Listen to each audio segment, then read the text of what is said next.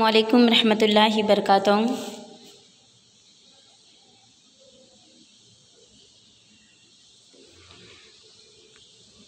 Psychology के session में आप सभी अज़ीज़ तलबा का इस्तकबाल है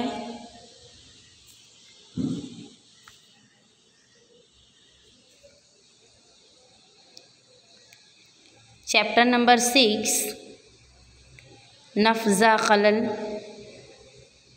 जिसे गुजराती में कहते हैं मनोविकृतियों। पिछले सेशन में हमने नफ्जा खलल के अंदर तशवीश और दफ़ाई मिकाने के मुतालिक फहमाइश हासिल की थी। उसके बाद हता है हमारा किरदारी मॉडल। किरदारी मॉडल में हमने चैप्टर नंबर टू के अंदर रिवायती मशरूतियत का जो उसूल देखा था, ईवान पेट्रो पालव ने जो फ्राहम किया था। उस रिवायती मशरूतियत को हमें एक बार और देखना है, जिससे आपको किरदारी मॉडल के मुतालिक फहमाइश हासिल होगी। आज का हमारा टॉपिक है वकूफ़ी मॉडल। वकूफ़ी मॉडल के पहले हमें पेज नंबर एट्टी वन पर किरदारी मॉडल के मुतालिक आपको एक बार पढ़ लेना है। जो हमने चैप्टर नंबर टू में रिवायती मशरूतियत, कुत्ते वाला तजुर्बा जो देखा था, उसी के मुतालिक दिया गया है कि इंसान और हैवान किस तरह सही और ख़ता के ज़रिए सीखता है, तजुर्बा करता है। किरदारियत के बानी को हम, मैंने आपको पहले ही बताया कि किरदारियत के बानी कौन है? वाटसन। और किस तरह इंसान और हैवान माहौल के हमरा तालुम तामुल में से तजुर्बा, मश्क के नतीजे के तौर पर रद्द अमल को हासिल होने वाली तकवीत की बिना पर किरदारी तजुर सीखता है। आज हम देखेंगे वकूफ़ी मॉडल। किरदारियती नफ्सियात दानों ने जिसका मुशाह किया जा सके, पैमाइशी हो सके, दिगर अफराद के ज़रिए उसकी जाँच की जा सके, ऐसी ही किरदारी हैत को तस्लीम किया गया है। उसे नफ्सियाती मवाद या मजमून में शामिल किया गया। उन्होंने जहनी या वकूफ़ी अमाल के किरदार पर होने वाले असरात ना तस्लीम किए। जहनी और वकूफ़ी अमाल बराह रास्त का मुशाह नहीं किया जा सकता। उसके बरखिलाफ़ वकूफ़ी अकाइस और इंसानी किरदार तवज्जो याददाश्त और अमल की तरतीब मालूम दी जाती है। यानी हमारे दिमाग में क्या चल रहा है, हम क्या सोच रहे हैं, उसका हम बराह रास्त यानी डायरेक्ट तौर पर तजुर्बा नहीं कर सकते मुशाह नहीं कर सकते। इसीलिए आला जहनी आमाल जैसे कि फ़िक्र तख़यल मनसूबा फ़ैसला वग़ैरह को तस्लीम किया गया है, जो हमारे किरदार में नज़र आते हैं।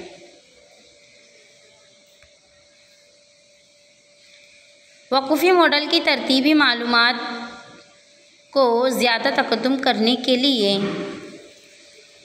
उन वक़ात में तजुर्बात का इस्तेमाल किस तरह कर सकते हैं, इस वगैरह को शुमार करने के लिए इस अमलीत में अहम तीन अनासर हैं। पहला, तवज्जे।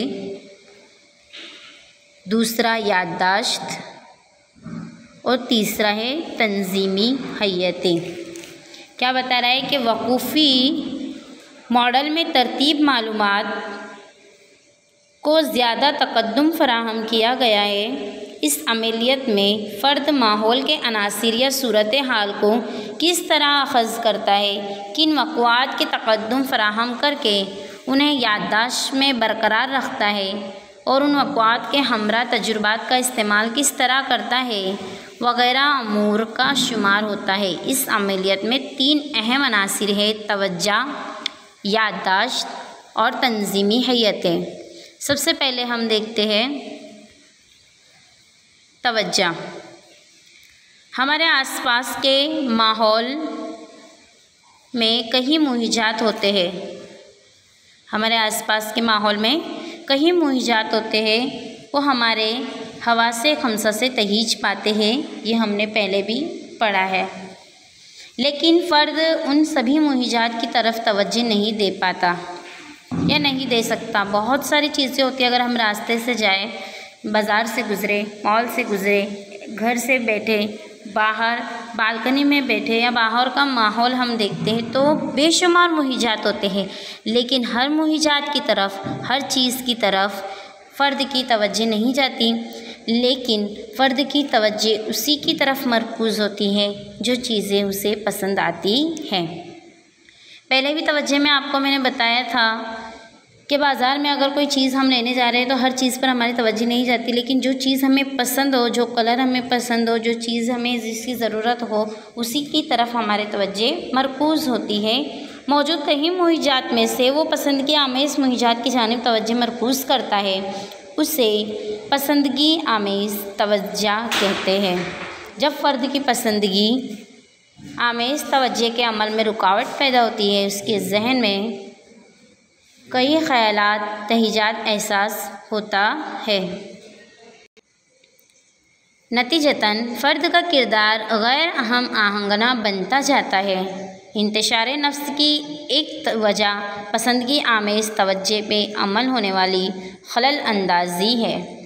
इंग्राम ने उन्नीस में दिगर महक्कीन के ज़ाहिर किया है कि असबाती मरीज़ाना नफ्जा खलल की बुनियाद पसंदगी आमेज़ तवज्जो में रुकावटें ज़िम्मेदार होती है। यानी फ़र्द अगर मायूस हो, अफसरदगा हो तो जो चीज़ उसे पसंद आती है, जिसकी तरफ़ उसकी तवज्जो मरकूज़ होती है, उससे वो नहीं मिल पाती, उसमें रुकावटें पैदा होती है, जिसकी वजह से वो गैर मामूली किरदार अदा करता है और जज्बाती मरीज़ाना नफ्जा खलल की बीमारियों में मुबतला होता है। बेशतर तौर पर ज़िंदगी के मनफी अक़वात की जानब नज़रिया ज़्यादा पाया जाता है। अब हमारा दूसरा टॉपिक है। अब हमारा दूसरा टॉपिक स्टार्ट होता है याददाश्त। याददाश्त के बारे में हमने इलेवेंथ में भी पढ़ा है। पूरा हमारा चैप्टर नंबर सिक्स याददाश्त के बारे में ही दिया गया था। महसूस करदा तजुर्बात। तजुर्बात या वक़ात की सूरत हाल में चंद बातें याददाश्त के मुनकसिन हो जाती है। मनकिश के साथ साथ फ़र्द अपनी याददाश्त को कैसे तजुर्बात वक़ात को महफूज रखे हैं उसका असर उसके किरदार पर होता है। जो अफराद अपनी याददाश्त के मनफी तजुर्बात को मुस्बित तजुर्बात की बनस्बत ज़्यादा मकदार में महफूज रखते हैं, ऐसे अफराद के किरदार में दिगर हमरा के तामुल में गैर मामूली और गैर अहम आंगी ज़्यादा पाई जाती है। यानी कि माजी के ख्याल या माजी की चीज़ों को अपने दिमाग में रखना और माजी की चीज़ों को महफूज रखना, वो हमारे याददाश्त के तौर पर पहचाना जाता है। ये हमने पहले भी पढ़ा है।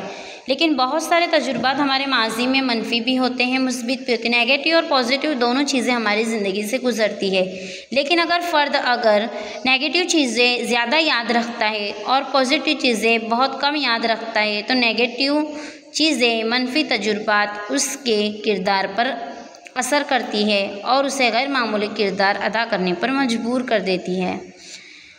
मसलन, अफसरदगी के मरीज़ की याददाश्त में ज़िंदगी के मुस्बित गैर जानबदाराना तजुर्बात की मालूम के बजाय मनफी तजुर्बात की मालूम ज़्यादा मकदार में ज़ख़ीरा शुदा पाई जाती है, जिसकी वजह से उसे नफजा खलल की बीमारी में मुबतला होता है और गैर हम आहंगना किरदार अदा करता है।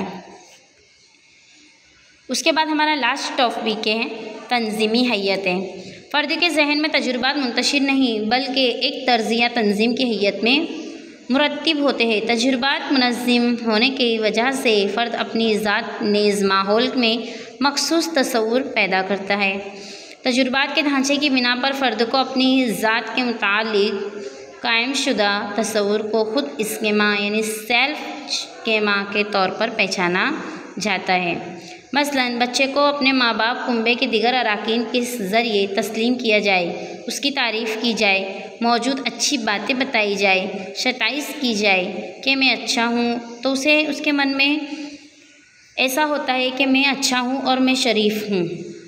अगर हम कोई बच्चे की तारीफ़ करते हैं, उसके घर वाले तारीफ़ करते हैं, स्कूल में कोई टीचर्स वगैरह बच्चे की तारीफ़ करते हैं तो उसे खुद भी ऐसा महसूस होता है कि सब मेरी तारीफ़ कर रहे हैं तो वो खुद अपने आप को कहने लगता है, मैं अच्छा हूँ। तो उसे कहते हैं, खुद इसके माँ।